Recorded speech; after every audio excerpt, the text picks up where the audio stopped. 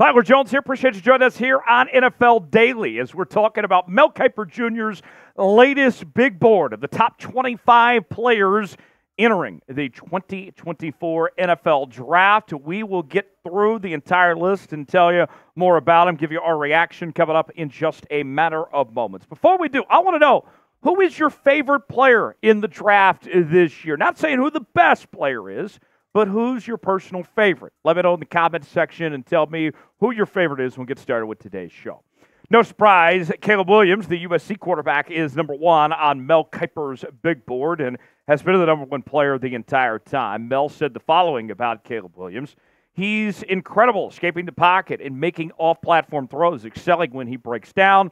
His improvisational skills are off the charts, and it's incredible how he can make the first defender miss and create first downs out of thin air. He has great field vision and throws dimes to receivers while under duress. He's incredibly creative, which is not something we can usually say of quarterbacks. Now, when I look at Caleb Williams, the question for me is not anything to do with his talent level. I look at his playmaking abilities. He can make every single throw, does everything you can ask on that end.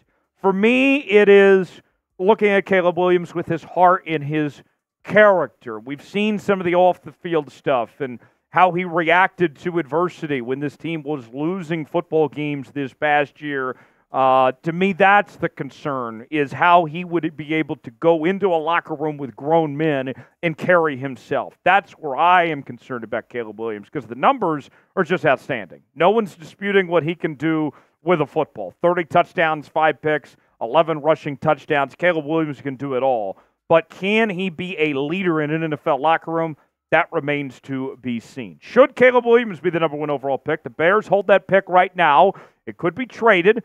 Should the Bears or somebody else take Caleb Williams with that number one pick? Or should it be another player? Let us know in our pinned comment today why for yes and for no if Caleb Williams should be the top pick or not. Today's show is sponsored by Prize Picks. Prize Picks the place to go for daily fantasy made easy. Here's how it works. You choose two or more players in any given category. Get the choice of more or less, whether you're talking fantasy points, passing yards, receiving yards, rushing yards, and more. You can mix and match different leagues, the NFL, the NBA, NHL, and more. This week, with the AFC Championship game coming up on Sunday, I'm rolling with Justin Tucker to have more than one and a half field goals made, and Travis Kelce, after a big game this past Sunday to have more than 64 and a half receiving yards. Put $20 down. These hit turns into $60 on prize picks. Get a $100 deposit match on your first entry when you play along with us. PrizePicks.com slash CLNS. Promo code CLNS for a $100 deposit match. The link is in the comments and description of today's video. Number two on the list, Marvin Harrison Jr., the wide receiver out of the Ohio State, had a very good season, winning the majority of the top receiver awards in college football. And Kiper said the following Harrison has everything from outstanding size and stellar hands to incredible body control and blazing speed. His dad ran a 4.33 second 40 yard dash before the 1996 draft but was just under six feet when the Colts took him in round one. Harrison Jr. is four inches taller and could have similar speed. Now, I can't find anything I don't like about Marvin Harrison Jr. He is one of the best prospects we've ever seen at this position. And while Caleb Williams, you have the character concerns, right? I think if you're trying to make the safe pick here, Marvin Harrison Jr. is as close of a sure thing to a sure thing you can get when I look at these guys picking uh, that are going to be available in those first few picks. This past season, over 1,200 yards, 14 touchdowns, 18 yards of reception. He was fantastic for Ohio State. Number three on the list, Drake Maye, quarterback out of North Carolina.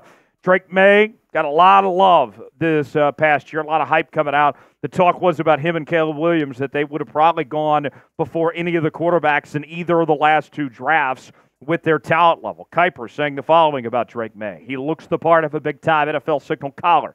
He can make every throw with ease. He's accurate on the move and can pick up first downs with his legs. Maye varies his pass speeds really well. He knows when to take a little off to make it easier for his receivers. Now, I look at Drake Maye, and the ability is there. No question about it. But there is a little bit of cleaning up to do. We saw at times that he did have some sloppy stuff going on, but he looks the part. of a big time quarterback in the National Football League when you talk about his ability as a passer, the arm strength, the accuracy, uh, what he can do on the run. Those little things are there, but some cleaning up to do, and some of those things take time. I mean, we've talked about Josh Allen for years now of still trying to clean up the sloppy stuff, but nobody disputes that Josh Allen is still the lead quarterback in this league.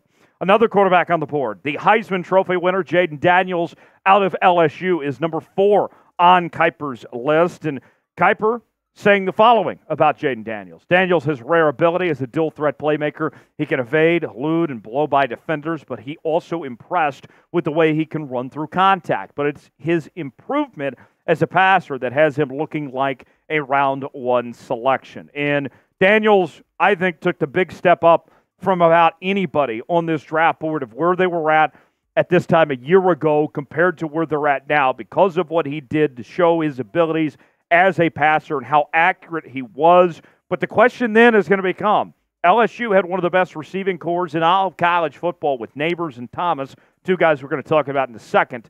Was Daniels a byproduct of having great receiver talent? I think that's a fair question to ask because you look at these numbers 40 touchdowns, 3,800 yards, 10 rushing touchdowns, over 1,100 yards, that big step up. Was that going to be something that stays? Is that who Jayden Daniels really is, or does it reflect of who he played alongside? It's a fair question to ask. Who's the best quarterback in this draft?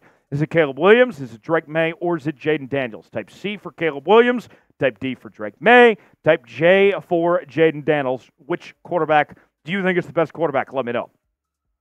Number five on our list is Washington wide receiver Rome Odunze, who was spectacular this season, and his numbers were actually better than Marvin Harrison Jr.'s were this past season with the Washington Huskies. Kiper saying the following Odunze put up four straight 100 yard receiving games to begin the season, and I love his combination of size and speed. He's big, and he knows how to use his body to shield defenders. He used both inside and out. He can make defensive backs miss after the catch. Now, I look at Odunze, and I see a player that looks wise beyond his years. You see how smart of a route runner he is and his ability to get down the football field. To me, this is somebody with a very good football IQ. And we talk a lot about receivers being immature, right? That's not the case with Rome Odunze. He's a natural leader and a very smart football player. Whoever drafts Rome Odunze is going to get uh, a great pick wherever he goes. Another wide receiver. We mentioned his teammate a moment ago. Malik Nabers, wide receiver from LSU, is next on our list. Nabers uh, had a fantastic season. Joe Alt, offensive tackle from Notre Dame, is the first offensive lineman on Kiper's list at number seven. And then at number eight, that is where we find the best tight end we've seen in a very long time. Georgia tight end Brock Bowers with the number eight slot. Kiper saying the following about Bowers. He's a matchup nightmare for defenses. He has great hand eye coordination and run after catch ability, and he can stretch the field down the seams. I also love the way he tracks the ball, high pointing it above defenders. We've been patiently waiting for when Brock was going to become draft eligible. He's been the best tight end in college football for the last three years now. And I think he's in the conversation for one of the best tight end prospects we've ever seen. And he draws all the comparisons. You're going to hear people talk about Travis Kelce, Rob Gronkowski, all those great tight ends with the receiving ability that he brings, at times looking like a wide receiver. This past year, played 10 games, had the ankle injury, was able to come back, though. 56 catches, 714 yards, 13 yards of reception, six touchdowns. Another good year for him despite the injury. Then uh, we find Olu our offensive tackle for Penn State with the number nine spot. Number 10, Dallas Turner, offen, uh, outside linebacker from Alabama, enters this list as well. We'll get to 11 through 25 in just one moment. But first, want to make sure you subscribe to NFL Daily by Chat Sports for the best coverage leading up to the NFL draft. Nobody is going to be covering the draft like we are here at NFL Daily. We're going to be bringing you mock drafts. We're going to keep you updated on potential trades. We're going to send a team out to the combine to cover that as well. Keep it locked in to NFL Daily. We'll have you covered all the way up until the draft right here on the channel. Subscribe now for free. You'll be glad you did. The other LSU receiver, that is Brian Thomas Jr., falls in at the number 11 spot. Well, number 12 is Cooper DeJean, the corner from Iowa. And there may be something you notice about Cooper DeJean at the corner position. We'll get to that here in just a second, the elephant in the room. I was impressed with his technique on snap to snap basis, says Mel Kiper. He played in the SWAT and out wide, showing off tremendous speed to stick to receivers. He's just silky as a cover man. This is everyone's favorite white corner we've ever seen in, in quite some time. And if he could come back from the leg injury just fine, I know there's some concerns about that, about that leg injury he endured this past year, but the numbers that we saw before that were so good. Cooper DeJean is going to be a natural fit in the National Football League. This year, two interceptions in 10 games played, 41 tackles, two tackles for loss. Um, the, the people like Cooper DeJean don't come around every day. We haven't seen a white corner in the NFL since Jason Sehorn. So uh, certainly drawing some attention, and there's already rumblings he might even move to safety potentially at the next level. 13, Keon Coleman, wide receiver from Florida State. Straight up dog, folks. Awesome guy. Uh, I think there's potential for him to maybe move up the boards here in the next few weeks. 14, Nate Wiggins, corner from Clemson. 15, Troy Fautanu, the offensive guard from the University of Washington. Then at number 16, Laiatu Latu, the outside linebacker from UCLA, followed by another fellow Pac 12 player. That is Michael Penix Jr., the quarterback from Washington. Penix played in the national championship game for the Huskies and led them to a Pac 12 title. Certainly a name that has risen up boards over the last several months. Kiper say the following about Penix. When you study the tape, you see he has the arm talent, accuracy to all levels, decision making, and toughness to become a successful starting quarterback in the NFL. Now, there are some people that are worried about him being a lefty. I'm not concerned about that with Michael Penix Jr. What I am concerned about is if he can stay healthy. He's already had a couple of ACL injuries. And kind of like we talked about with Jayden Daniels, another fair question to bring up. Is he a byproduct of having great receiver talent? Washington had the best one of the best receiver rooms in all of college football this year. And Penix's numbers were outstanding 36 touchdowns, 11 interceptions. What can he do if he doesn't have all those weapons there? Uh, that's a question I think a lot of people want to know when it comes to Penix Jr. there. So, how many quarterbacks will be selected in the first round of this year's draft? Already talked about several. This is believed to be a generational year for QB talent. Weigh in, tell us what you think in the comments section. Jared Verse, another guy I like a lot in this draft. He comes in at number 18, defensive end from Florida State. Uh, could be a guy that I think, if he impresses well the combine, might move into the top 10.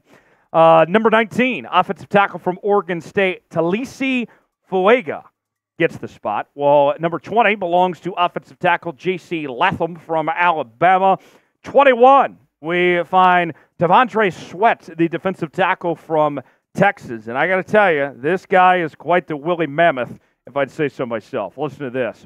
Kiper saying the following I've been impressed with Sweat's improvement this season as he has shown he's more than a plugger along the interior of the defensive line. He has put some excellent pass rush moves on tape, and he's a disruptive force in run and pass situations. I personally love the idea of a 6'4, 362 pound defensive lineman. That's not attractive to everybody, but Sweat well, no pun intended, but he, he's shown that he can break a sweat, that he is very athletic for his size, that he is a disruptor. This past season, took on a lot of double teams and yet still managed to have 45 tackles, eight tackles for loss, two sacks, and four pass breakups. Watch out to see what he could do at the next level. A few more names to uh, get to. Amarius Mims, offensive tackle from Georgia at 22. From the University of Oklahoma, Tyler Guyton. This guy's a big dude, six seven. He falls in at number 23. Number 24, defensive tackle Jer'Zhan Newton from Illinois. And rounding out Kiper's big board at 25 is Jordan Morgan, the offensive tackle from Arizona. Appreciate you joining us here on this edition of NFL Daily. If you enjoyed today's show, you made it to the end, spam real one in the comments section. We'd certainly appreciate it, and we'll see you next time here on the channel.